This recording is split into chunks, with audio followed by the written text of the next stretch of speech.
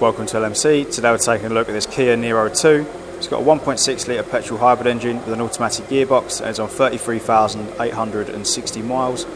This is a perfect family car. Of course, looks the part as well. With these lovely looking wheels, gloss black paintwork, chrome door handles and trims around the windows. Now you've got brushed silver roof rails, nice daytime running lights up front with this dark blacked out front end with a single piece of chrome running along the bottom and a very nice modern looking front grille. Now as we come around to the side and rear, you've got tinted glass for extra privacy, a nice big boot lid spoiler, very cool looking rear lights, fitting in with the bodywork really nicely. Plenty of boot space, again making it a perfect family car. As we take a look at the interior, half leather seating, plenty of legroom, an armrest folding out as well, making it a nice comfortable journey for your rear passengers.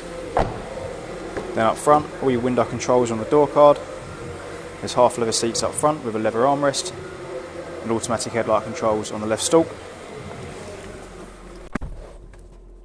A nice, easy to read and bright instrument cluster with steering wheel controls on either side of the wheel.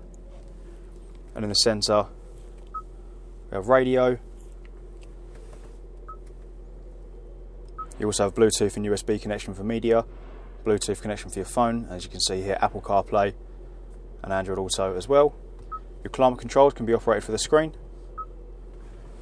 or via the buttons down below. And then putting the vehicle into reverse will bring up its rear facing camera and sensors on the instrument cluster. Now all this is followed up by a USB and 12 watt socket points with a nice piece of storage there and that leads us back nicely to your cup holders, electronic parking brake and storage underneath your armrest. So if you'd like any more information, please visit our website and thank you very much for watching.